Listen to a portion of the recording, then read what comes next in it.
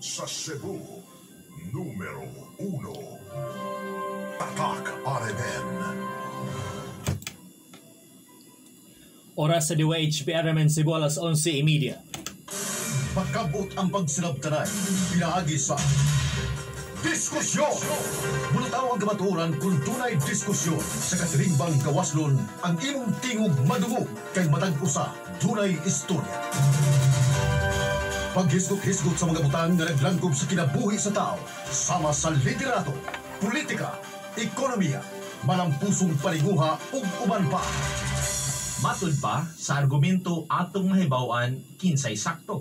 Sa diskusyon atong mahibawan unsay sakto. Diskusyon! Now, diretso matulun ano.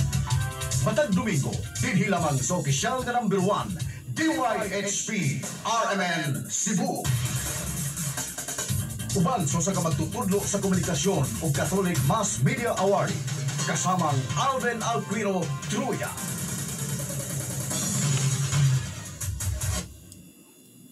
Maing buntag sa mga kasama sa Kibisaya ng Binadaw, kinasab si kasamang Alvin Alquino Truya, makiguban kaninyo hangtod alas 11 o alas 12.30 karong hapon, manukan kita alas 11.30 ning buntaga mga kasama. Subay sa ununot nining pandemya mga kasama, daghang kanato ang nakasinati og kabalaka. Ang uban nakasinati og stress o depresyon. Kining tanan kinahanglan atong uh, i-deal mga kasama tungod kay gi tagan nga human ning pandemya ang una o mag-unang suliran gawa sa ekonomikanhon kining atong mental health no? Dili kini ka kumpiyansaan. Mo nang angay natong hisgutan. Karong buntaga, ang pangutana mao unsaon nato pagdumala sa atong kabalaka, no? May mo nang i-text sa 0932-504-8124 ang inyong ikatampo. Usban ako 0932-504-8124. Kini kabalaka makasama, no? Kitang tanan, muagi man giniini na pandemya way pandemya no nagkalaing-laing mga mo trigger o hinungdan nining kabalaka. Apan kung magtikalawom lang sa atong kabalaka maka-interfere kini sa atong tagsa-tagsa ka mga uh, kinabuhi sa tagsa-tagsa nato ka mga buluhaton. Matod ba ni Sam Harris mga kasama? Usa ka leading intellectual dito sa United States of America. Doon ay mga pamaagi, pagtil sa kabalaka, baka uh, depresyon. Iyang suggestion nga una kuno natong naon kining gitawag nga gratitude kanang atong ma atong pagka mapasalamaton ba no usa ko nis pamaagi nga dili ta mahog ngadto sa mga uh, hunahuna nga dili maayo. Sa laktod nga pagkasulti, alang niya kinahanglang atong i-reframe ang atong panghunahuna. No? Atong i-reframe ang atong panghunahuna aron dili siya mahug sa trahedya sa masa uh, mga butang nga makapasalimuang bakanato ubang gali mabuang mga kasama. Then how do we reframe our mind? Para alang niya atong hinumduman no? Ang mga butang nga dili maayo nga wala mahitabo nato no? Bad things that could have happened happened but did not. Oh. Usa ko na sama ka usab sa atong framing sa atong hunahuna. For example, mga kasama, no? Mga okay, panahon sa pandemya, ang ayan ka magpasalamat niya, ikaw, nga naminaw karon wala naptapte. No? Ang ayan ka magpasalamat, tungod kay ikaw, tingali, wala magutme. No? Ang ayan pang pagpasalamat, kay tingali bisan the wakay trabaho, pando ka sa maingon nga nagpakalimos na ta. No? So, mga negatibo ba nga panghitabo ba? Nga, pwede untang mahitabo nato apan wala mahitabo. Negatibong panghitabo sa kinabuhi apan wala mahitabo.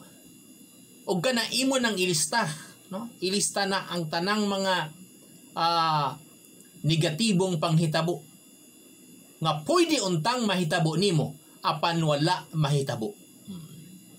Muna siya negative thinking, no? Pero you turn your negative thinking into positive, no? Nga mahog sa atong gitawag nga gratitude kini nga atong ma ah, pagka mapasalamaton daghan may mga panghitabos na kinabuhi ba? No? Nga ayan tang magpasalamat. O daghay mga negatibong paghitabo no? Nga pwede untang mahitabo. Nga na nimo apan wala mahitabo. Nganha nimo. O sana ka pa maagi nga ma-reframe mga tong una-una no? Kaya una man gud natong kontra mga kasama kini man gyud nga atong hunahuna no? Kay mao man ni ang atong eh, CPU kung sa uh, computer ta pa muna atong central processing unit no? Ang CPU mo ba nang meaning CPU no? Busa kung mopalyar ni lisod kayo. So kinahanglang ato i-reframe ang atong hunahuna. Sukad karon imong ilista unsa may kining mga panghitabo nga negatibo no? Nga pwede untang mahitabo nga na nimo apan wala mahitabo. Reframe your mind. Usa na sa pamagi. O nabaka kay uyang.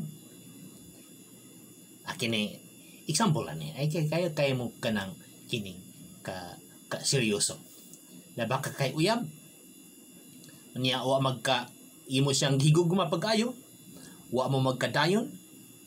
Unya diha kana kahibaw ngadto sa uban nya ang iyang naminyuan karon buttered wife di ay. Ay no no may katawanan na ining buttered wife no? Angot pasabot ba nga ah, hingulap ta di isang dako di ba na luwas ka? Oo. Yeah basta. Nya usahay ang sa atong gitan-aw nga negatibong bahitabo later in the end makarealize ta nga kuan di na kanang ja dito'y maayo no? Nya gidulot ang maong panghitabo mga ah, kasama. No? Kay kini kinabuhi daghan magoy mga laom mga kinabuhi. Daghay mga butang nga dili nato ma anticipate so diha lang daan sa pagkamapasalamaton dako na kaayo ng ikatabang sa atong hunahuna. Oh Tinuod, not all good things will come our way. Dili ta ng mga maayong butang mahitabo sa atong kinabuhi. Kay kung ta maayo na lang butanan, ah, di na thrilling.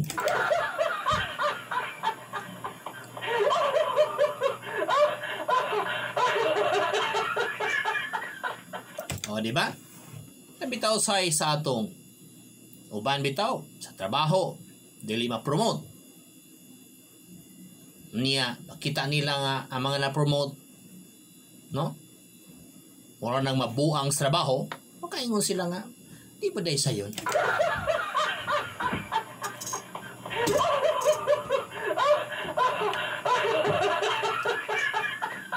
so kinahanglang mapasalamaton ta no? Ah, mapasalamaton ta ba? Nga kini kung atong tan-awon sa mga nakakita no? Unsa ka ka bulahan nga makita pa kaysa uban niya hikawan in town sa kini pananaw. Daghang kay mga maayong butang mo ato lang ilista ba no? Ug mga di maayong butang kung atong ilista makaingon sabta nga mapasalamaton ta nga kini nga maong butang wa mahitabo nato. So be very thankful no? That's gratitude kining mag ah, mapasalamaton ta no? Oh ug diha lang sa pagkamapasalamaton pasalamat ta di lang kay nanay maayong butang nga nahitabo sa itong kinabuhi papasalamaton sad ta nga kadto mga daotang butang na pwede untang mahitabo nato no? Wala mahitabo nato. Di ba? Oh Mapasalamat ang tawa ta maigo sa unsa mang nagkalain-laing nga trahedya. Kanang tanan angay natong hinuklugan, no? Og matud pa ni Sam Harris, usa ka na sa maagi nga ma-reframe, no? Ang atong hunahuna. Kanang framing ba sa atong hunahuna importante man na. Yun sa nato pag ka pagdumala, giyon sa nato pag ah, kini ah, posisyon ang atong hunahuna. Kasi akong lagingon, kini atong hunahuna, no? Ano bitang malamba ta? No. Ah, ah, madawat ang atong maigo ang atong o. O bambitaw, malimot na, no? Kalimtan na nila ang mamnisya ng uban. Tungod kay anak kan sensitibo ang atong utok, no?